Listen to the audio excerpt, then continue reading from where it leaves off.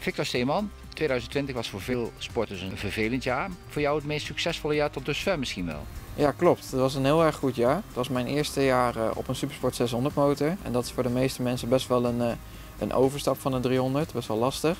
En ik heb eigenlijk onder, zonder eigenlijk te veel training eh, ben ik Nederlands kampioen geworden en vijfde in het Duitse kampioenschap.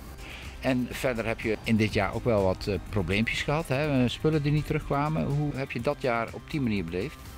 Heel anders natuurlijk. Ook het reizen er naartoe. We moesten eigenlijk alles met de auto doen. Niks kon met het vliegtuig, omdat je dan weer in contact kan komen met een besmetting. Dus het was echt wel allemaal even wennen. Maar eigenlijk wel, ja, wel goed te doen nog. En 2021, wat zijn jouw doelen dat jaar? Hoe kijk je vooruit? Hmm, doelen heb ik. Ja, de doel is natuurlijk om weer terug te komen in het WK en daar zo goed mogelijk te eindigen. Alleen het is nog even de vraag of ik dat kan realiseren.